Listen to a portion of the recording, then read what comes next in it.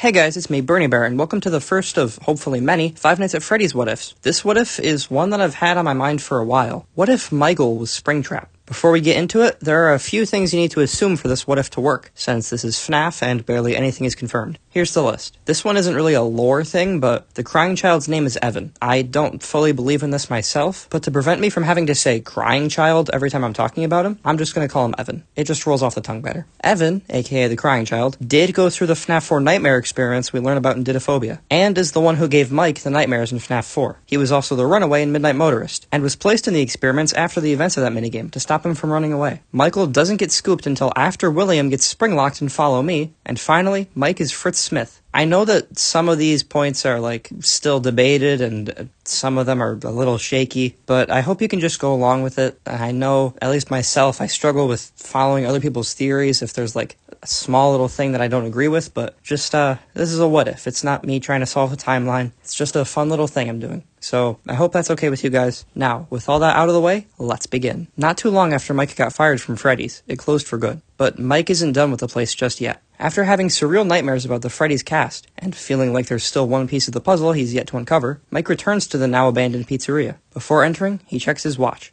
11:37 p.m. Once inside, it takes him a while to find anything of note, but eventually he sees something he didn't see on the cameras before. A narrow door-shaped seam in the wall near the bathroom. Mike presses his fingers along the outline of the camouflage door. Here's a small click. As the door opens a few inches, Mike pushes open the door, revealing a hidden room, the safe room. There isn't anything of note in the room. Old arcade cabinets, a few dusty props, and cobwebs in the corners, all of which are appropriately accompanied by the faint sound of water droplets hitting the floor. But then, Mike sees something. Resting on a nearby wall is a yellow suit, a little dirtied and decayed, but one Mike is able to recognize nonetheless. Spring Bonnie, the character his father liked to associate himself with to an almost unhealthy degree. Mike stands there for a moment, listening to the droplets of water from the leaky ceiling hit the floor as he contemplates what to do next. He thinks about all that has happened in his life, all the mistakes he's made. He's reminded of his brother, Evan, and how Michael is responsible for ending his life way before it should have been his time. He thinks about all the other kids killed at Freddy's, who are now trapped within those giant cold machines in the room over. Their lives were stolen, and now they're stuck in a state between life and death itself, unable to move on. A tear rolls down Mike's cheek. He knows what he has to do. Mike grabs a metal object from the corner near the Spring Bonnie suit. This is it. Mike would try to free the spirits from their metal prisons, or he would die trying. It's not like he had much to live for anyway. He checks his watch. 11:58 p.m.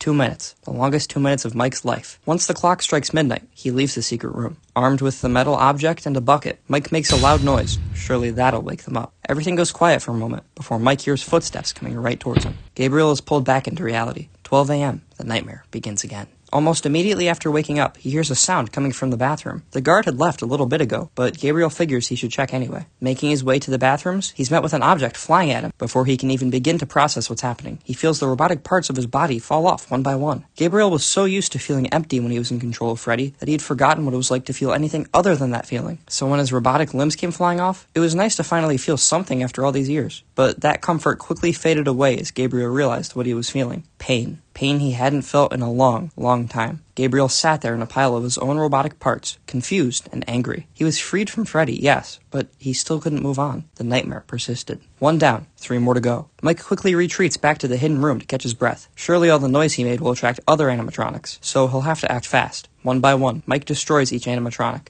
Freddy, Bonnie, Chica, and Foxy are all quickly reduced to nothing but piles of scrap metal and broken shells. But Mike isn't done yet. He can still feel his brother somewhere in the location, trapped. As Mike begins to leave the safe room to try to find his brother, he's met with four spirits who block his exit, the children. They just stand there, not moving, but filled with agony and hatred.